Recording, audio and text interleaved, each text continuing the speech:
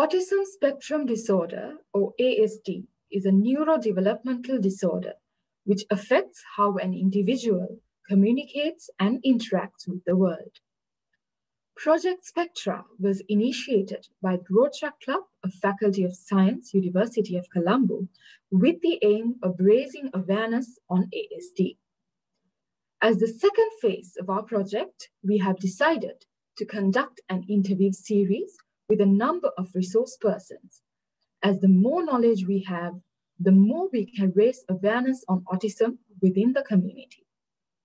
So today we have with us an experienced clinician and an academic in the field of child development and child disability, Professor Samanmali Sumanasena.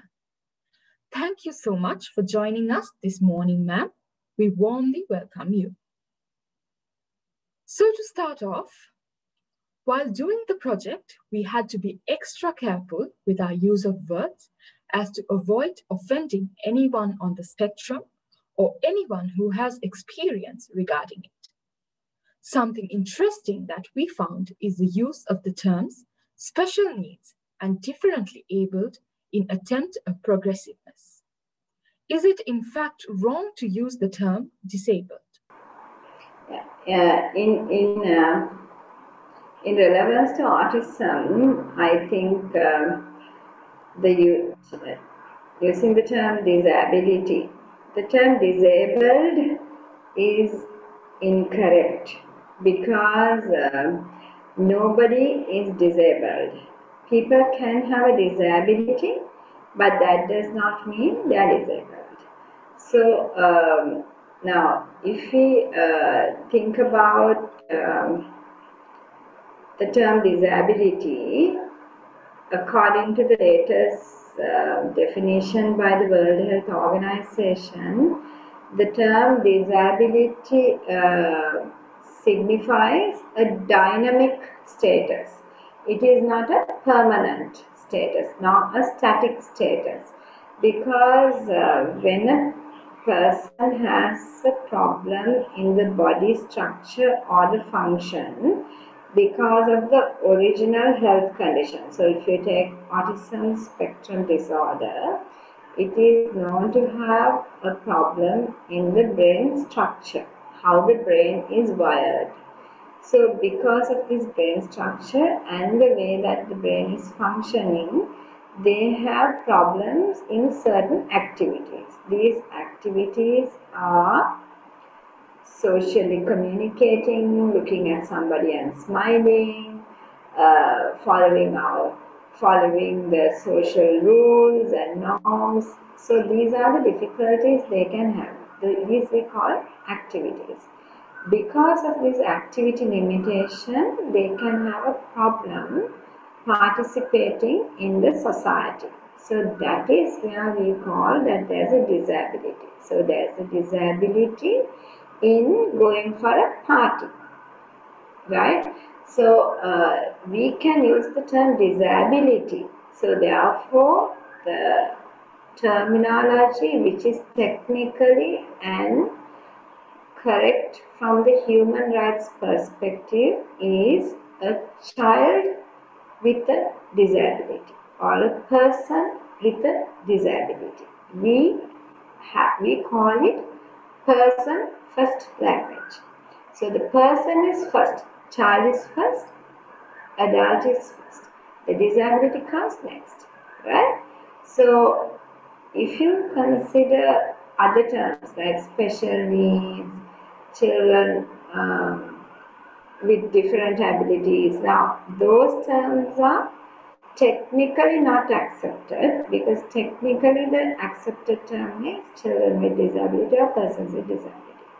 But if somebody wants to use the word special needs or differently able, they must they might be having their own perspective of the term disability because in some societies, especially in the Sri Lankan sector in Sinhala language, the term disability means abadita, right? Abadita bhave. So the abadita suffix is there. So for people the, those terms are very stigmatized. So they don't have. But if you say special, that means Vishesha. Right? So that gives a hype to the word.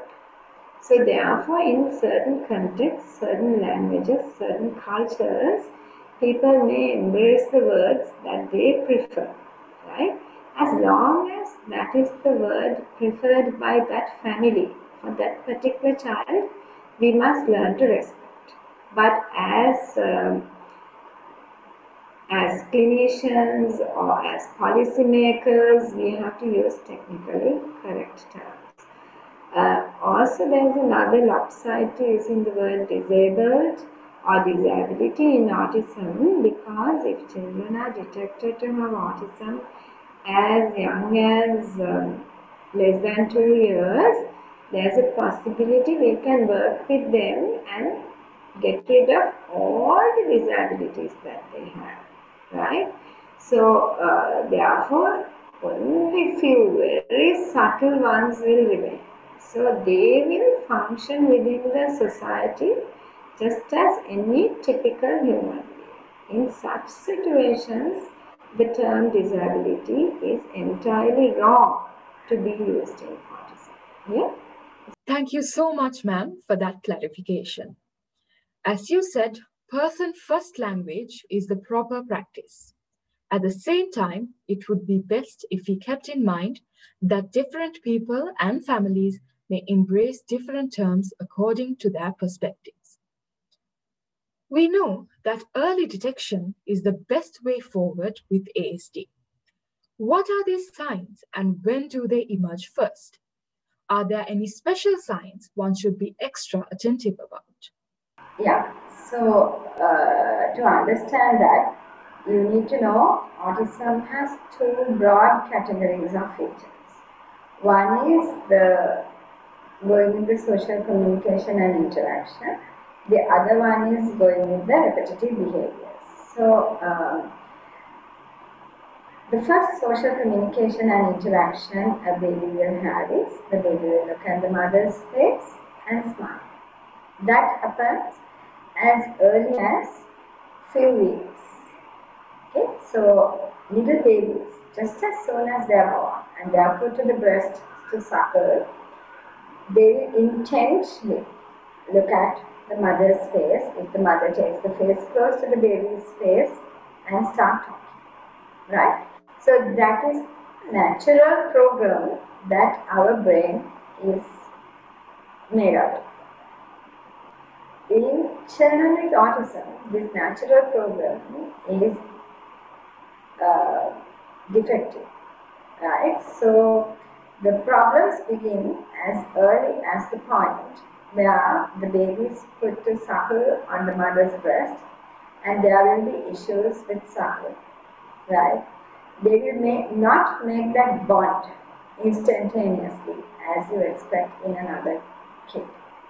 So, however, majority of children who do not initiate breastfeeding, who do not sustain breastfeeding, who do not connect with the mother during breastfeeding are not identified as early as that point.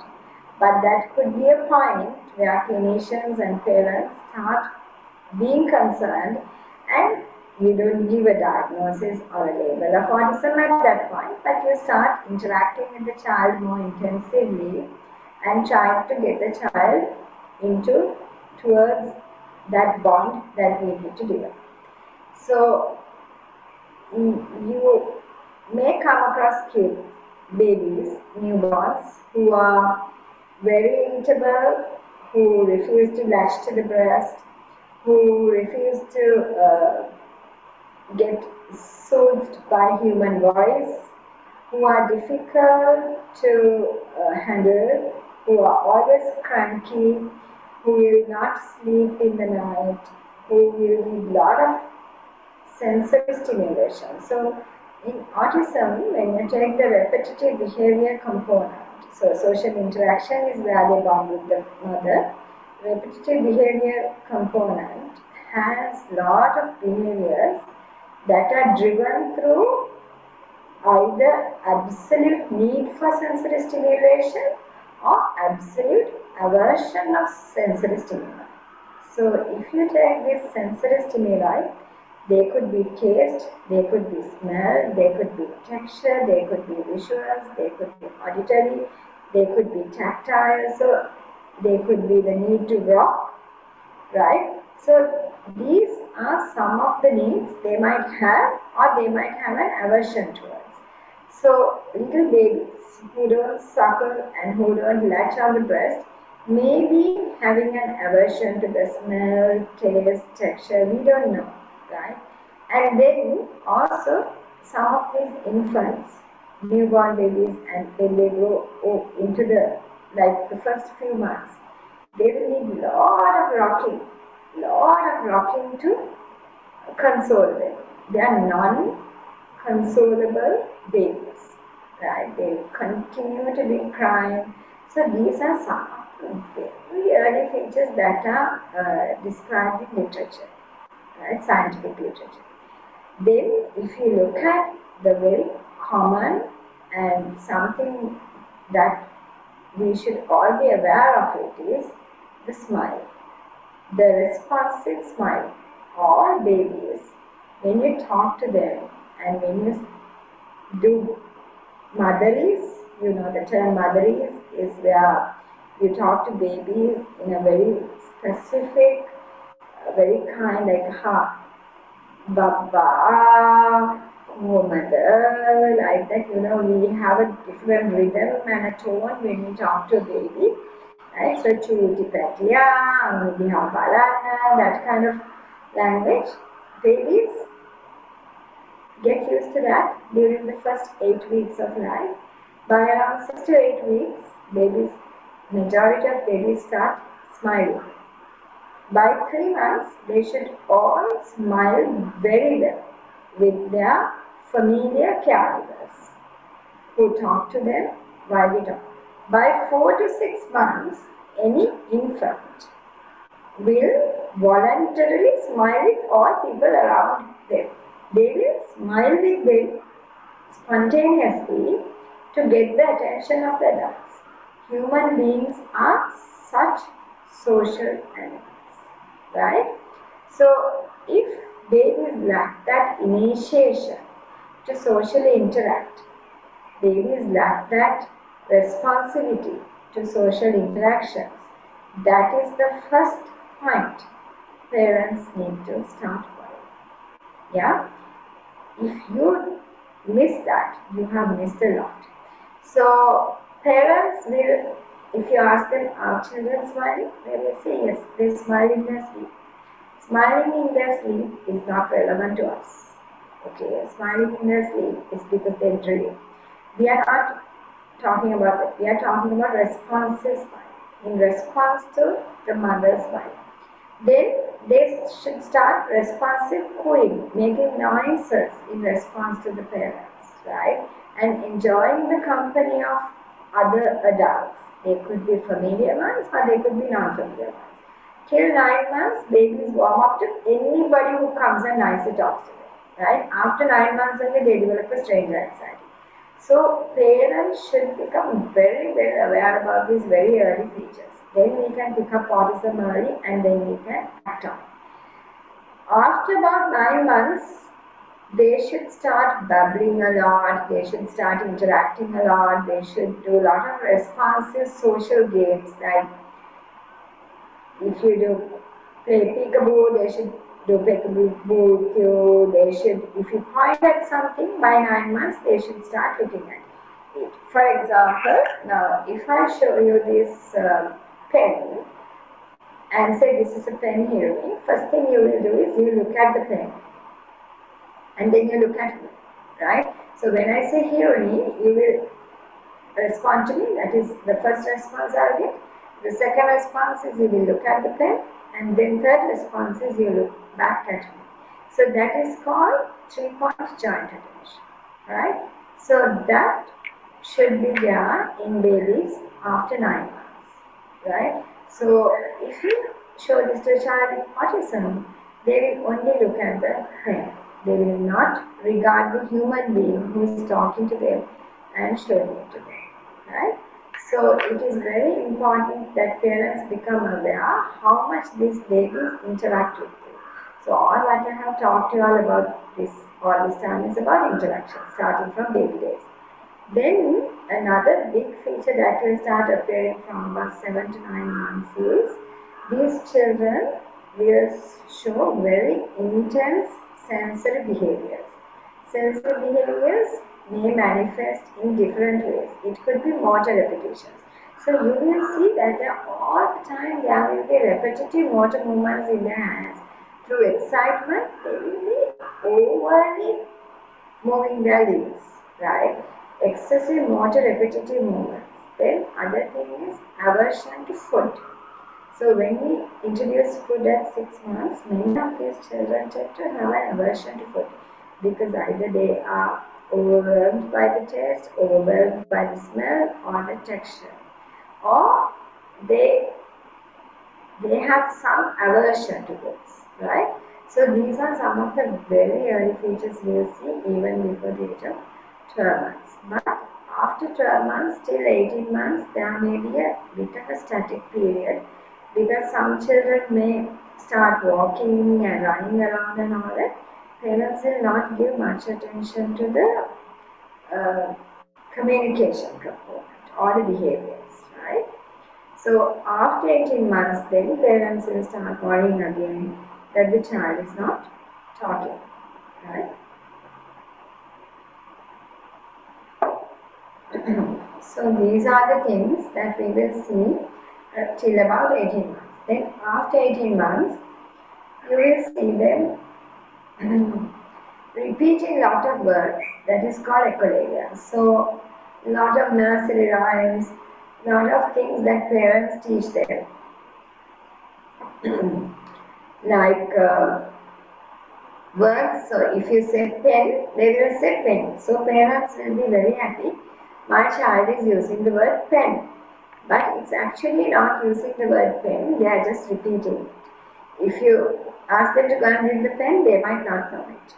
Or if you show it to them and ask, what is this? They would not know it. But they would say, what is this? That means they are repeating themselves. So this repetitive talk, and then they will not ask for anything. They will come and pull the parents by hand and then just go and show the um, just extended arm, something like that. They will be delayed to point. They will not, they will have problems smiling, looking at the face.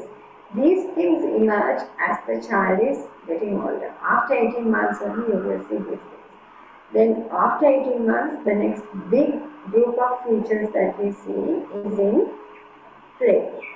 If you look at them playing, they will not be playing with toys.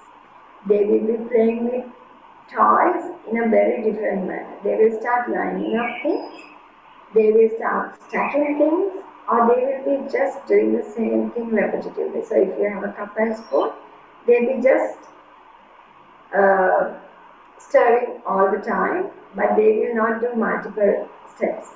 So that is the evolution of clinical features. Thank you so much for that elaboration, ma'am. It is vital that mm. parents pay proper attention to the behavioral patterns during the development of their child. With that in mind, there is much debate and many myths surrounding ASD. According to your research and knowledge, is there any specific reason for this neurological developmental disorder? Okay, according to the available evidence in the world at the moment, uh, there is no specific cause or reason identified autism, right? The with all the available evidence, what we can say at the moment is the only identifiable factor which is common to many children is possibly genetics, right? So there are some genetic material that are shared by families and that is why people identify this as one of the possible causes. So for example, there are parents who would say that we are very uh, socially secluded parents. We don't like to go out. We don't have many friends. I was also delayed in language. So there is a very strong family. Then there's a child who comes and the child has very overt features of autism. So we think there's a link between that parent and this child. Then there's another child who is born, and that child is also showing features of language delay. But because the parents have already have one child with autism, they might work with that child, and that child may not have overt autism, right? So there is a definitive family lineage that we can identify. Based on that, the scientists and people who are learning a lot about autism think that there's a very prominent genetic factor, right? They have identified certain conditions, certain genetic combinations that can definitely have features of autism. That is another scientific finding. Other than that, there is no proven factor but people have looked at things like environmental pollutants, they have looked at uh, certain food pollutants, they have looked at um, also certain factors such as birth injuries might pre-expose these genetics to be expressed in a higher way, higher prevalence. We don't know. So actually there is no definitive factor. If you ask from me about myths in Sri Lanka, I haven't heard any specific myths about autism, but uh, language delay, they say boys talk late and all that. So that is possibly a myth. But uh, so if you cut hair of a kid, they will be late talk. These are certain myths, but Specifically for autism, I haven't heard any myths with regard to uh, etiology or the factor. Thank you, ma'am. Like you said, there's a definitive contribution of genetics to this condition. So it's better if parents are more open minded about these factors. Still, a lot of parents may be unaware that their child is with autism some may be in denial about it, even if they know that their child is different. What is the role that parents play in the lives of these children? For me, I think parents are the only people who will play a role in these children's life. I think my role as a clinician is less than 1% when it comes to a child with autism. If a child with autism is fortunate enough to have parents who will understand this condition and who will understand how to address the needs of the child, I think that is the most fortunate thing that could happen to a child who is defined to have autism spectrum disorder, right? So if you ask me what is the role of parents in autism, I will say the entire role of autism is dependent on parents.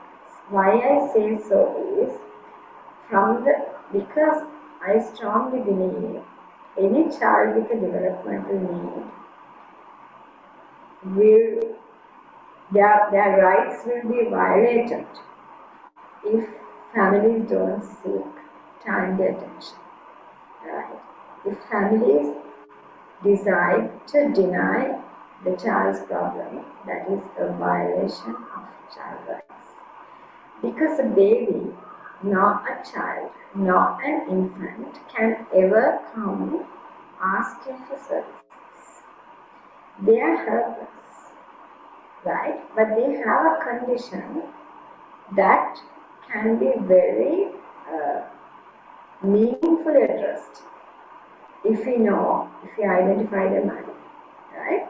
So, for example, as I was telling you, when a baby becomes very cranky, if parents don't seek advice on that, then there is a major issue, right? I will come back to the negative point there, but let me first finish the role of the parents. So, uh, parents should become well aware about this is the one of the red uh, uh, red uh, messages I wanted to red color messages I want to you to give to the public. All parents in Sri Lanka should uh, take some initiative to learn about child development. The literacy about child development in Sri Lankan parents, extremely well educated parents, including sometimes doctors, is very, very low. It's less than 5%, I would say, from my mind. Yeah. Uh, they don't know when children smile, they don't know when children talk, they don't know how children talk, they don't know how children play, they don't know how children even walk and when they walk, right? So, as parents or as responsible young adults, especially the youth of Sri Lanka, should take responsibility. If they are going to have a baby, they should become aware how they have to be responsive to the child's developmental needs. To become aware how a child will develop. There are a lot of websites for English speaking people on child development, developmental milestones, how to track the child's development, right? But in Sinhala we don't have, in Tamil we don't have, and I, I, I think as uh, policymakers, this is something that we should push the government health services to have easily, readily accessible to uh, public. But if you take the child health development record, which is owned by all children born in Sri Lanka, that has the milestones listed. So that we can't say it's not accessible to all public. Right? It is universally accessible. Parents need to take a look at it and tick when they smile, when they talk, and then they need to seek help. Right? So identify, seeking help are two important things for parents. Number three is being available for children and having developing interactions with children early. So we know autism is a, uh, as I defined earlier, it is a problem how the brain is programmed. So in these children, the natural, because you know, brain is, you can have an analogy between the brain and the computer. So computer, if you put all the word PowerPoint, Excel, all those programs into the computer, the computer will function, right? So similarly, the brain is also programmed naturally according to our genetics when we are born, right? So we get certain programming programs from our parents and from nature, right? So we have got those as human beings. Homo sapiens sapiens, we have these so, autism brain will not have certain components in it. One is communication for social interaction and social uh, behaviors, right? And also they will have some abnormal programs in it, like a virus, that they will have a lot of abnormal behaviors, abnormal sensory responses, etc. Right?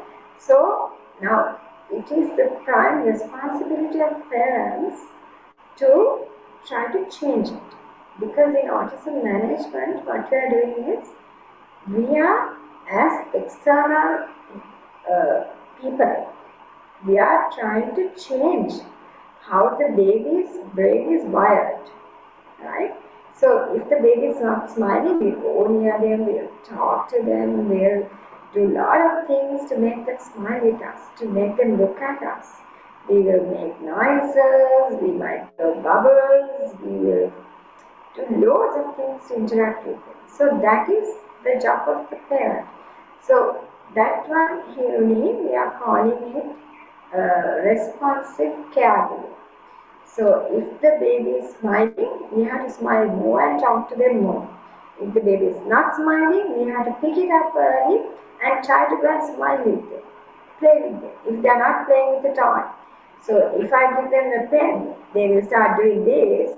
We will have to take the pen and show them, see Puta, you can draw with the pen, right?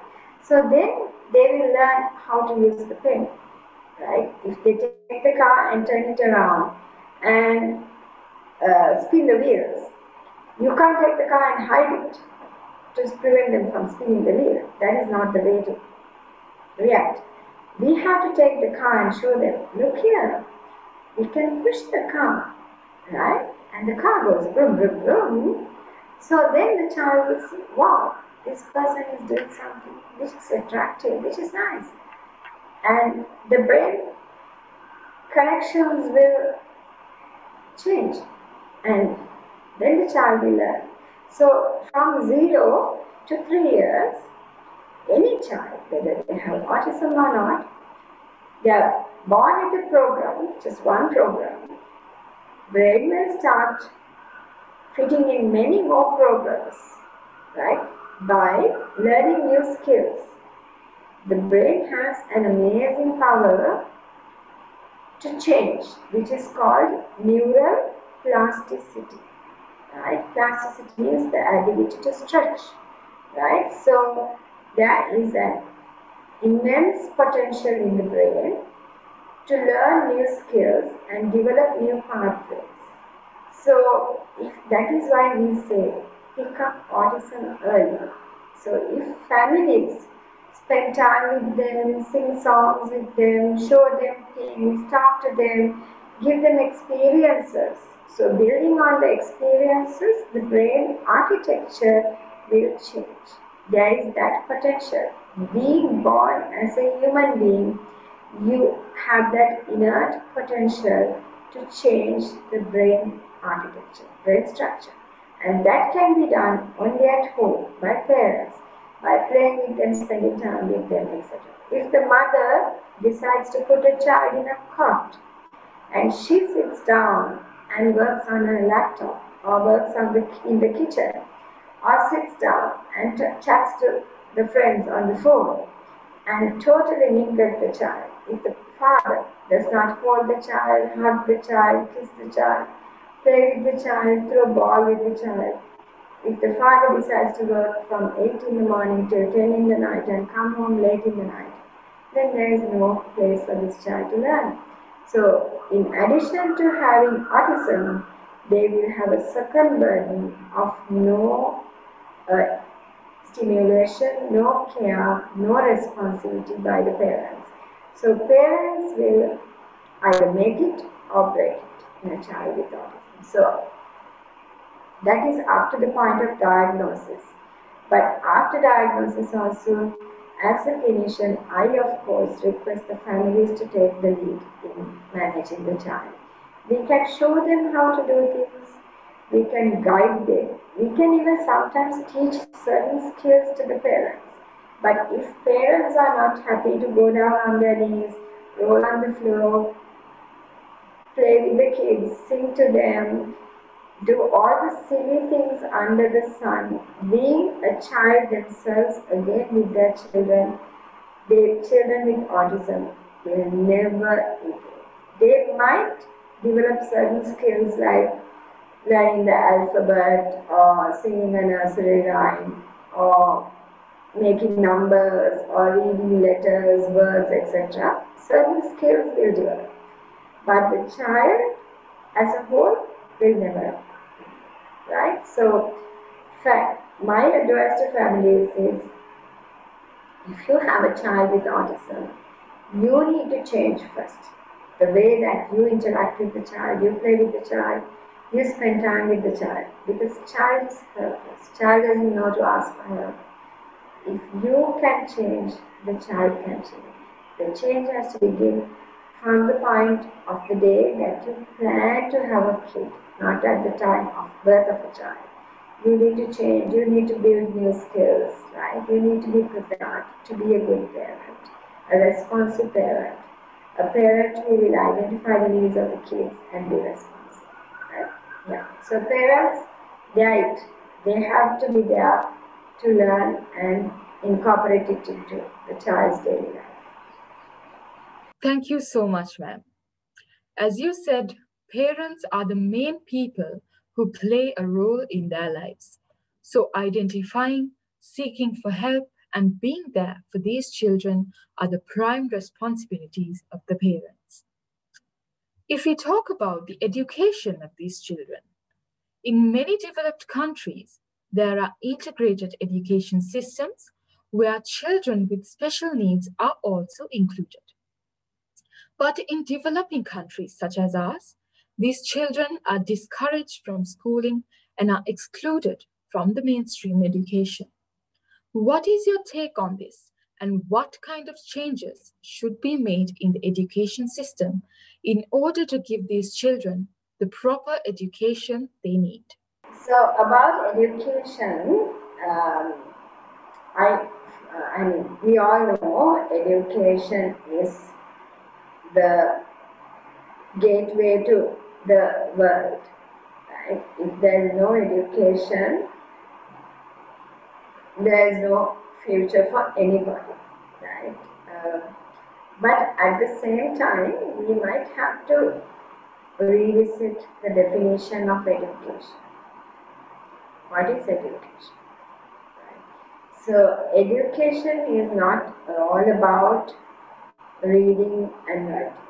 Education is something much deeper. Education is learning new skills understanding content and acting appropriately. In a nutshell, I mean, it is not something somebody had said or defined, but I'm just giving you a broader definition of what is education. So, um, first of all, when you say the rights of children for education, every child has the right for education. There is no discussion about it. But how, when, where, what to deliver has to be defined based on the needs of children. If you look at the child rights, uh, the the Convention on the Rights of Children, it defines that every child has the right to education. But uh, if you look at the Convention on uh, on the people of people with disabilities also they say there's a right for education. But they have not said right for mainstream education. They have not said right for special education. They have not redefined. So um, also when we look at education, we have to look at the systems. Where we are. What do we have in our system? Do we think it is optimal, the education system not only for children but also for any child in this country. So there are a lot of debates that we can follow when it comes to education. But um, in brief, I would like to say uh, we have to consider our education system. If you look at the Sri Lankan education system, uh, our public education system is the predominant education system, which is accessible universally and which is accessible to most people. We are not talking about Western province. We are talking about all provinces, including provinces like Uva and um, the Wani, places like that as well. So the public education system, if you take, has many setbacks. They don't have resources. So if you take children with autism, you know they are in a spectrum.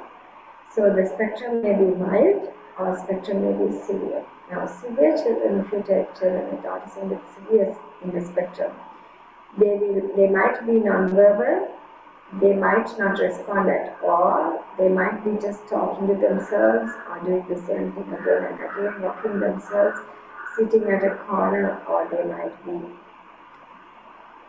eating their own excreta or like, you know, it could be very, very severe and a very sad state for those children, right? So children like that, we can't go and implant them in our mainstream education system. Okay. Uh, then, if you look at children who are in the milder spectrum, they, I think there is every possibility that we can incorporate them into the mainstream system. But even that is a problem because our teachers, our staff don't know how to handle children with autism, even if they have mild symptoms. For example, a child who can talk, who can do the schoolwork, who can follow the instructions, but when they are working, they might sometimes do a little action like this. Right? Now the teacher cannot tolerate because the teacher doesn't know what is autism. Teacher might think this child is mimicking me, this child is mocking me, right? So they will get very upset in the classroom. Or else these children will continuously ask questions from the class teacher. Then they will have problems because the class teacher doesn't know to handle. In Sri Lankan education system, we don't have educational psychologists. We don't have occupational therapists. We don't have speech and language therapists. We don't have doctors who will routinely get involved with these children. Right? So some of these children with autism will also have conditions like seizures, fits, epilepsy. They will be on drugs. They might feel sleepy.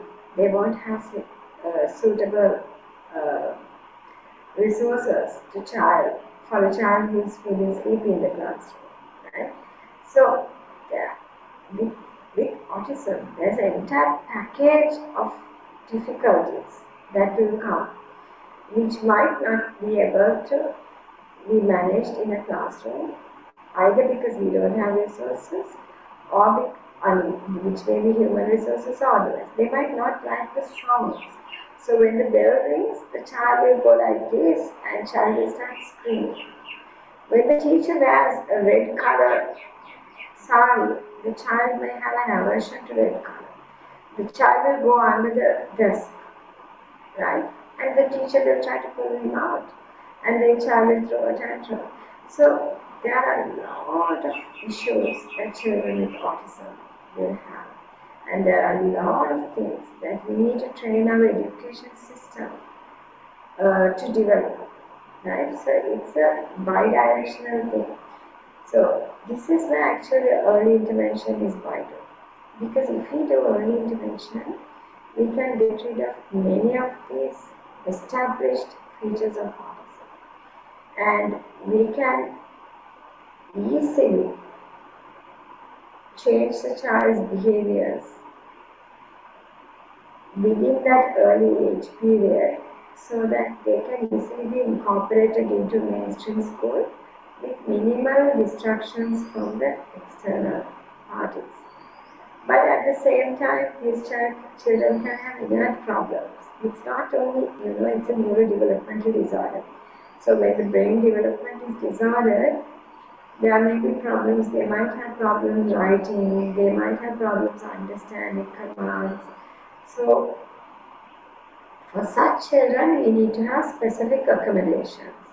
So schools should be prepared for accommodations, which they are not at the moment. Some children who are non-verbal can work with the tap.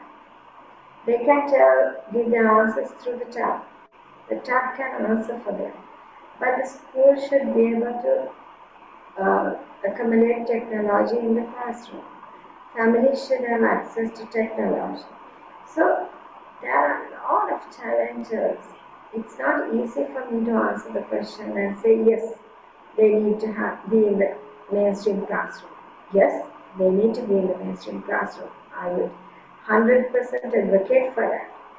But is our system ready? That is a huge question you need to pose to the policymakers. Is our society ready? Families have said that they'll take schools to courts. They have done protests because there's a child with autism in the classroom. Families, communities need to change. They have said, uh, because there's a child who screams in my class, in this classroom, we are not going to send our children to this school. This child will kill my child, which is absurd. But it is our, it is the perspective of the community that we need to change. So when it comes to education, we need to change a lot because I strongly believe whatever I do for these children from baby days is not going to be waste if they don't get a proper education, right? So the education needs to change. Education needs to be ready to accommodate these children with various needs. The society needs to be ready. Teachers need to be trained. More resources needs to be given. So that's a huge change we are expecting. Thank you, ma'am. Moving on.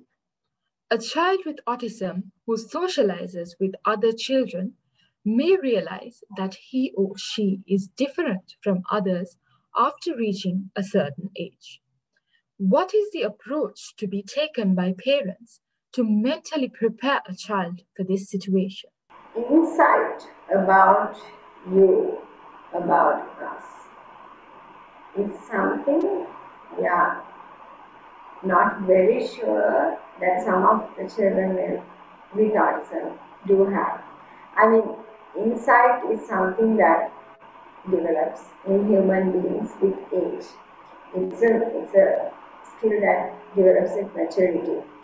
So, um, generally, if the child can understand things and if they can comprehend what we talk to them, we can make them understand. And then we can gradually, so I mean this is where actually a clinical team can play a role, especially the clinical psychologist will have a role in talking to children uh, with any uh, kind of a disability to tell them like understand beauty of them first, their strengths and then certain challenges they have and certain things that they might not have because I mean it's not only children with autism even can have their our own challenges. Every child will have uh, certain difficulties. For example, there are children who can't dance, there are children who can't sing. So there are things that we cannot do and uh, it's important that the families prepare these children uh, to manage social circumstances. Um, and uh, how to deal with it. That is what we need to direct them to learn uh, because uh, giving them that insight and giving them that self confidence will and the self awareness, those are things that families can't do alone by themselves. They will need definitely clinical help. We'll have to deliver the messages through different pathways to these children to understand that they, they might have challenges and they might have different needs. So uh, families need to start doing this from very early age. This is a very good question because even if we improve their communication, even if they, we improve their behaviors, certain social skills may lack in these human beings and then it becomes quite overwhelming for them. And what happens is they can develop features like anxiety, they can develop features like anger, right? So therefore we need to teach them to deal with these overwhelming social stimuli or social uh, demands, right? So Sometimes avoidance may also be one of the strategies that we would ask them to do, right? Or uh, coping strategies, how they can manage within these situations. So it's very individualistic. We have to look at the child's needs. So we had one kid uh, who is brilliant, who is born for the math Olympiad. He's learning in a mainstream classroom, but uh, he has a strong aversion to uh, smell of certain food. Foods. So these type of foods are very common in the classroom.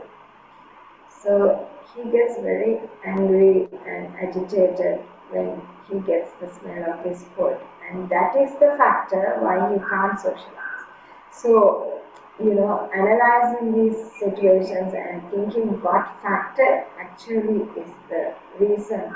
It may be my voice, it may be the tone, it may be the noise, it may be a behavior, it may be the visual that they don't like which will make them socially uh, overwhelmed, right? So yeah, that in that parents need help from the clinician. Thank you so much, ma'am. Different coping strategies can be taught to these children, and parents may need the sound guidance of clinicians in order to prepare these children for the challenges that they may face someday. Furthermore, with the current pandemic situation, the lack of socializing is a challenge that many of us face. It may be a lot worse for individuals with physical and psychiatric disabilities, especially due to lack of access to healthcare. How can we address this issue? I think the service providers need to uh, take steps and the policymakers and the clinicians need to come together and they will have to develop plans how to access these countries and uh, make them engaged. Uh, so at our institution, I can talk on behalf of our institution, we provide telehealth services. We provide uh, telehealth through video calls or even telephone calls. Um, we have helplines. So those are the ways that we have to work because this population is anyway at higher risk for the COVID complications as well. So we don't want to expose them. But uh, giving them plans and asking them to carry them out at home. Uh, I mean, Sri Lanka being a low middle income country uh, still adequate um, spaces available for families is a good thing because our families are not, uh, majority of our families are not living in highly urban apartments or in shanties, so majority of our population is based in spacious locations. So giving them opportunities to go outdoors and do outdoor activities and uh, trying to develop neighborhood communities, etc. Maybe some of the options. I think uh, if the pandemic continues, we have to look at more options at a national level. Thank you, ma'am. As you said, it would be better if access to telehealth services and helplines are improved for the benefit of these children. While we were doing research for the project, we came across a new term, virtual autism.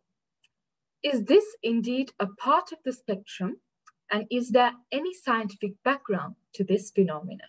I, uh, to be honest, Hirani, uh, I don't think there's adequate evidence to support that claim because, uh, as far as I know, as a clinician who has worked in the field of autism, relationship between screens and autism is slightly different. Uh, so, as I explained to you all at the beginning of this discussion, these uh, children have a tendency to get attached to repetitive stimuli. These repetitive stimuli could be visuals, could be auditory, could be tactile, could be uh, movement based, uh, we call it vestibular, taste, smell. So if you see children with autism, you can, you will see them either smelling all the time or putting their fingers in the mouth, just tasting. Sometimes touching certain toys, they will come to the clinic with soft toys they will look at spinning wheels, right? They will like to rotate. So, or rock. These are all to do with their sensory. So, if you give them a screen, which majority of parents do, because these children, there are two reasons. I'll tell you why it happens in Sri Lanka. The Sri Lanka, vicious cycle begins at two points. Two points. One is when the baby is cranky and the baby is crying all the time as a little baby. Parents, uh, the, uh, the, the present day parents tend to put uh, videos, especially nursery rhymes. They think that will calm them. And they think they are not doing harm to the child because they are giving a nursery which is educational, right? So they put this, and what happens is because of their repetitive nature, their brain is so addictive. They will get addicted to that screen, right? So if they cry, the parents give the screen and then they continue to do that. You know, the the brain is something that can easily be trained. So they train the child to calm down with the screen. Now, if a parent does this by singing songs, talking to the child, maybe a little bit of rocking, doing soothing things, there's always possibility for the brain to rewind.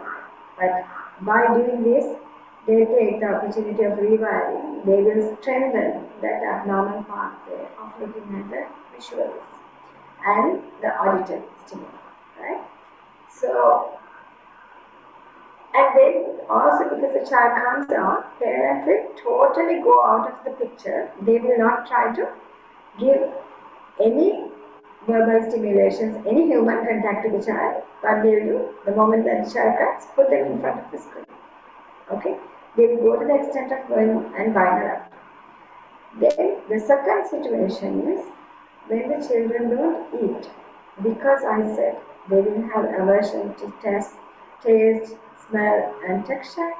So they will have this natural aversion because they have autism genes. And their brain is not programmed to eat normally as the other kids.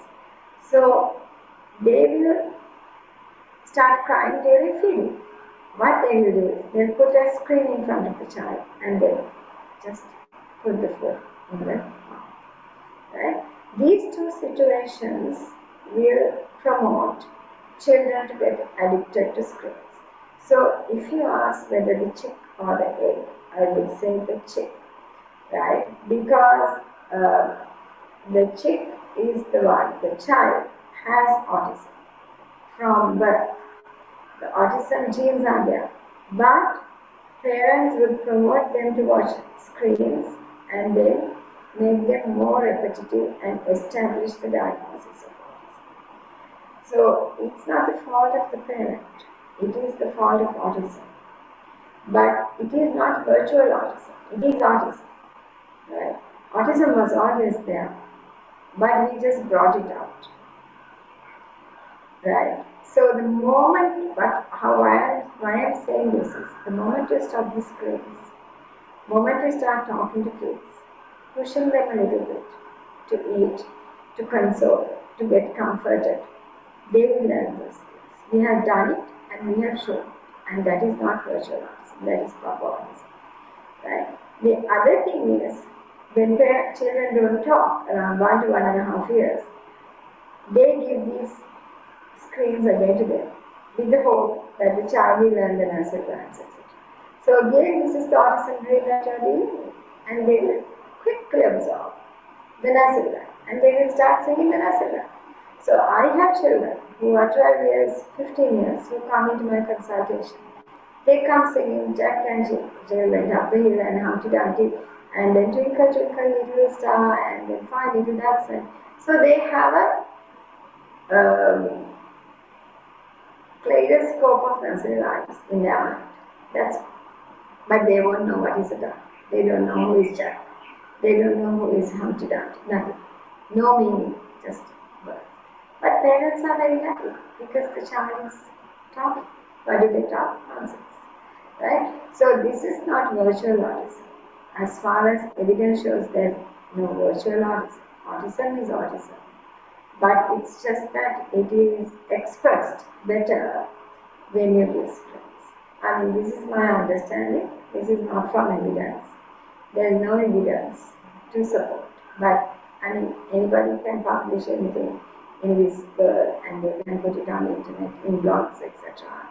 So I think this is an area area we need to research more and find out. Yeah, that's my answer to the question. Thank you for that clarification, ma'am. Finally, is there anything that you would like to share with us in addition to the areas we discussed? Uh, I have just one more to add, if you don't mind adding it.